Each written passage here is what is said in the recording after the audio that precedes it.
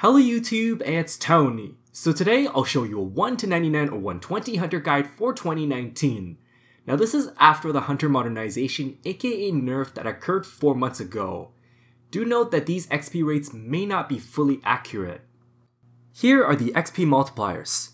You could get bonus XP from the heist minigame although it isn't worth it however. Now there are more to list but these ones are the most common XP multipliers in the game. Moving on, we have the useful items.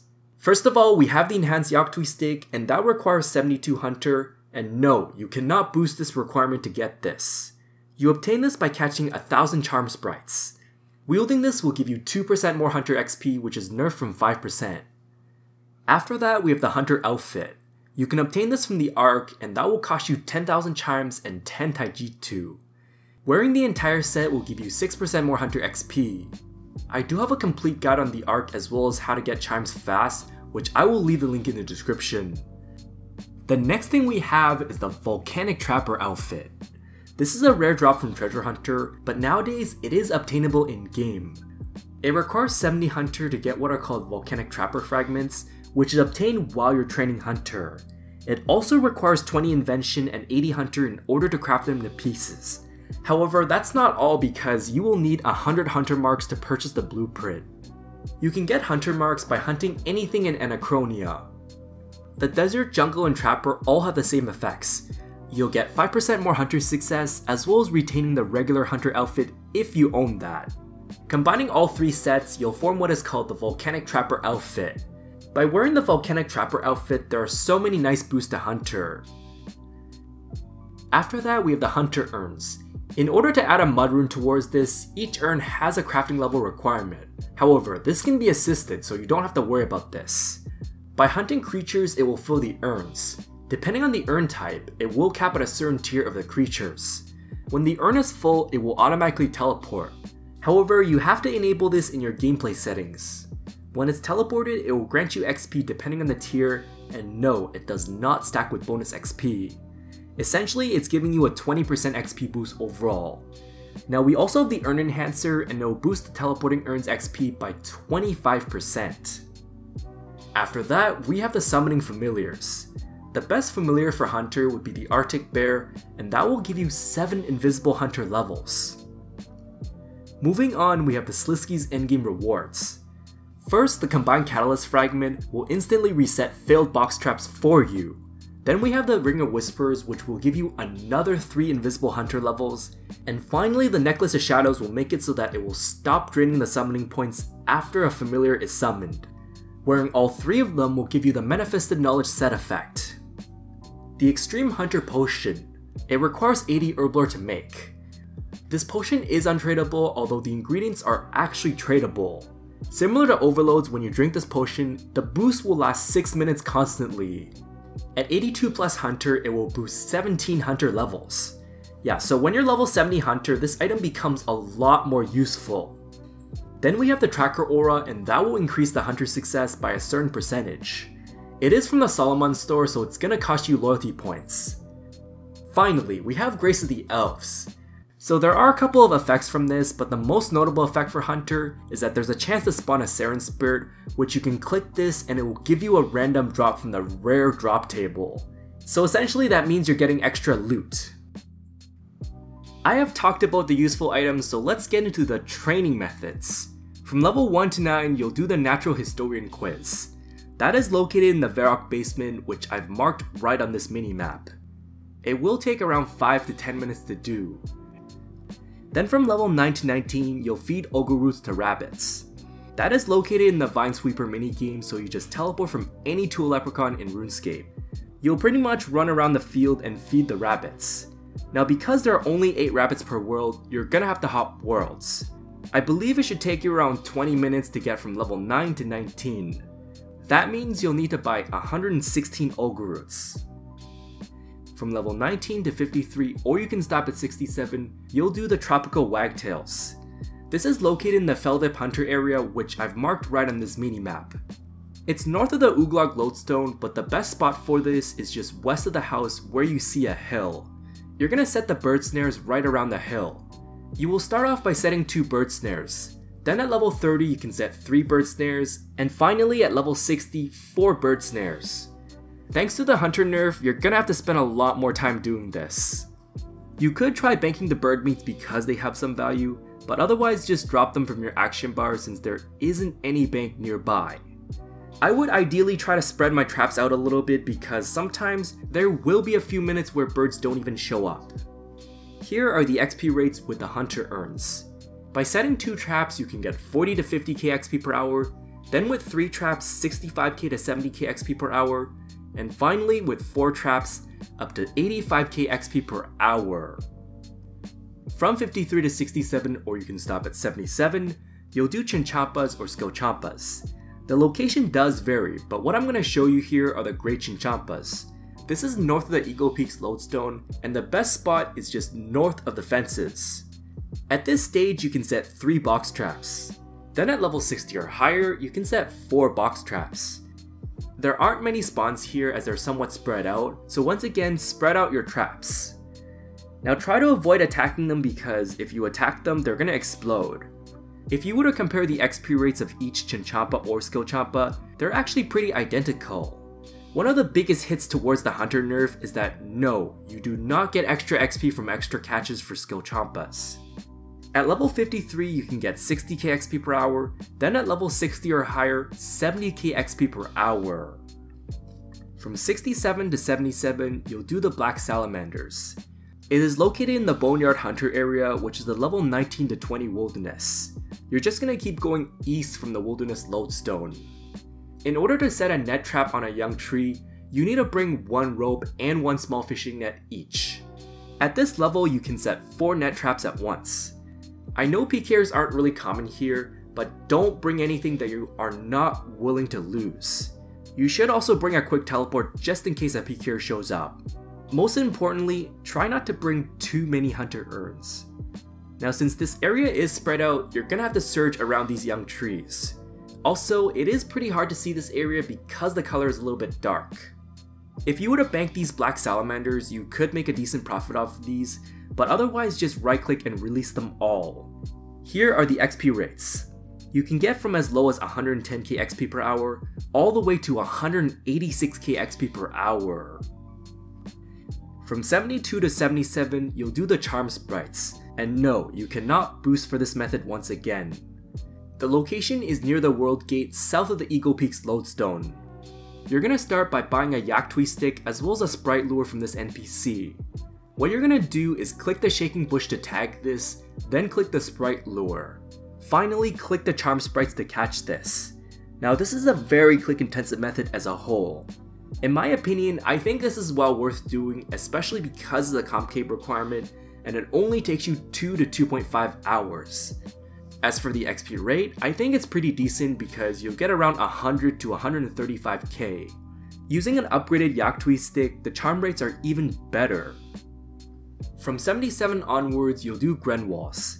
Now I highly recommend you complete the Elf City medium tasks because you avoid needing to bait them. The best location nowadays would be Anachronia. Unfortunately, it's no longer worth it to crystallize Grenwalls as they have been nerfed so that it only gives you 10% more XP or 20% with the Lightform Prayer. So you're gonna follow my box trap layout and pretty much spread your traps. Having the Volcanic Trapper outfit's gonna help here just because of how spread out they are, as well as giving you extra hunter success. Now once in a while, a big dinosaur will stun you for a couple seconds, so don't worry about this as you can just use freedom to clear this. These Grenwalls are pretty slow when it comes to triggering the traps, so there might be a few minutes where they won't trigger them. It also helps that you use Extreme Hunter Potion, especially if you're under level 80, just because of the hunter success rates. At level 77, you can get around 200k Hunter XP per hour, and then at the 90s, you will get around 300k XP per hour with 7 million GP per hour worth of Grenwall spikes. Yeah, this is an extremely overpowered.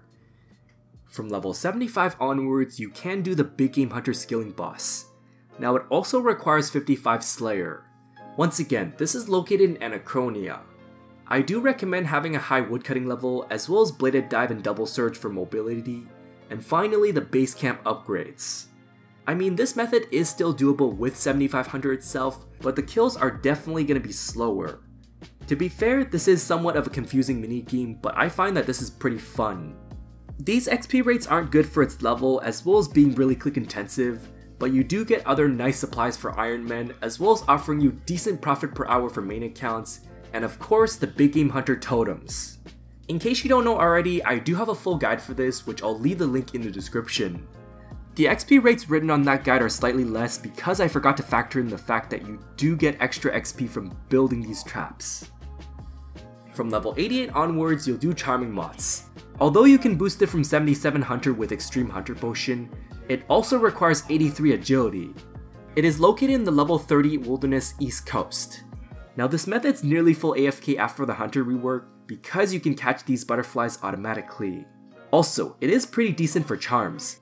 This spot has become a hotspot for PKers so you better watch out for them.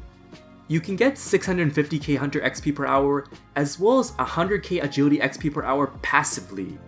I find that this is the best method to do before 99, especially because you cannot do the one tick method. I have a full guide for this which I'll leave the link in the description. From level 96 onwards, you'll do the Ornate Tortles. You could boost it from level 81 with the Extreme Hunter Potions. Since it's located in the Uncharted Isles of the Ark, it will require what are called supplies. Once again, I do have a guide on the basics of the ARC as well as how to get chimes which I will leave the link in the description. Ideally, flag a daily island with at least 2 colonies. As for strategy, try to set the turtle traps near the hunter icon on the minimap. Nowadays, your character will automatically step underneath the trap after you collect it, so you're gonna have to walk one space after you collect, or else wait a few seconds before you set a new trap. The XP per hour nowadays is around 450k, at the given rate of 540 catches per hour. Unfortunately, this does not factor in the time you spend hopping islands. From level 97 onwards, you'll do Crystal Skillchompas, which can be boosted from as low as 82 with the Extreme Hunter Potion. This is located north of the Tyras camp, which requires the Regicide quest to access. You'll set the traps around the hunter icon on the minimap. Now the catches are relatively fast, but you do not get extra XP for extra catches. The XP per hour you can get for this is 250k, as well as giving you 1.4 million GP per hour. Now the XP per hour isn't great, but I mean you do get a small amount of profit from doing that. And finally, the last regular method I'll talk about are the Black Warlocks. It requires 95 Hunter, but you can boost it from 81 with the Extreme Hunter Potion, although it also requires 90 Agility. It is located in the south part of Anachronia near the Dark Animica rocks. The fastest way to get there would be by using the Slayer Cape teleport to the new Slayer Master, and then going a little bit north. I mean, otherwise you're gonna have to walk around the agility course. Just like Charming moths, you can catch these barehanded. While I forgot to bring this, but the Ring of Metamorphosis will help. This method is very good for AFK hunter marks, and no, you do not have to worry about PKers this time. You'll get 200k XP per hour as well as offering you 10 to 20 hunter marks per hour. In addition to this, you will get a small amount of agility XP. So let's get into the 99 plus section. The Hunter Cape. By activating this cape, it will allow you to do the one-tick hunter method. Unfortunately, after the hunter update, this is the only way to do the one-tick hunter method. So Tony, how exactly does the one-tick hunter method work? Well, what you're gonna do is place both the cape and the trap on the action bar, and then quickly press both keys. Now every time you check your traps, step underneath them so you can set the trap fast afterwards. The way it works is that you're supposed to set the traps faster than usual. Anytime a trap is unsuccessfully triggered, don't left click a trap to reset that. Instead, what you want to do is dismantle a trap and then set a new trap from your inventory. How much faster is it with or without one ticking? Well, that depends on the method, so just see the next slide for the XP rates. Here are the 99 plus methods you can do.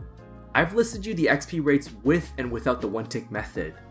I do have footages of me doing the one tick method which I will leave the link in the description. Some methods are better than others for various reasons, so yeah, just choose whichever one is right for you.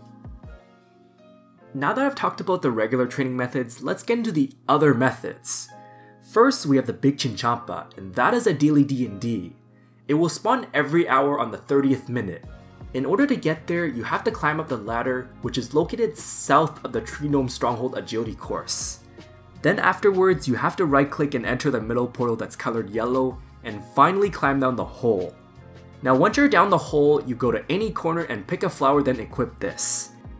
You'll get points by catching butterflies or checking the shaking branches, so yeah, just keep running around in a circle basically. When you catch 15 butterflies, you'll now empty the jar to the nest. Just repeat the same process until the timer runs out or when you get 1.5k points. Now you can only play this minigame twice per day. I would recommend this until you're level 75 hunter. The next D&D we have are Goebiebands. This D&D is similar to Warbands, but this time it's a safe PvP activity. You'll get up to 48.5k XP for free every day, and it only takes you 3 minutes. Yeah, so it is well worth it, okay? There's an FC that tracks which world has which two skills, and it's called Mini Games. I have a full guide for this which I'll leave the link in the description. After that we have protean traps, and those are obtained from Treasure Hunter. The best place to use them at would be the Carrion Jadinkos in the north part of Anachronia, right beside the venomous dinosaurs. Unfortunately, it's really hard to navigate so I cannot explain in words, but I did draw out the approximate path to get there. It requires 88 Hunter, but you can actually boost it from as low as 77 with the Extreme Hunter potion. But Tony, wouldn't Herblore Habitat be better than that because it's easier to get to and there's a lower requirement? The answer is no because the spawn rates here are very nice, as well as not needing a Jadinko combination for this. As you can see right here, this method's really AFK because you're going to use the auto deploy option. Once in a while, your character will automatically stop deploying. Unfortunately, Hunter Urns do not work here. I got almost 900k XP per hour, in which case I used 1050 protean traps. I do have a full 1 hour footage of this, which I'll leave the link in the description. The Hunter Dummies. Once again, these are obtained from Treasure Hunter. Anyway, so you deploy them in AFK. Each dummy has 5 lives. I understand that you can use other players' dummies, but you will only get 5% of the regular XP. You'll use 35 full dummies in an hour, which in turn will give you a whopping, wait for this, 1.3 million XP per hour at level 99. Given how hard it is to train Hunter nowadays, this method's extremely overpowered. And finally, the last other training method we have are the Hunter Brawling Gloves. You can get this from the rare drop table or by doing Wilderness Slayer. Each glove will come with 336 charges.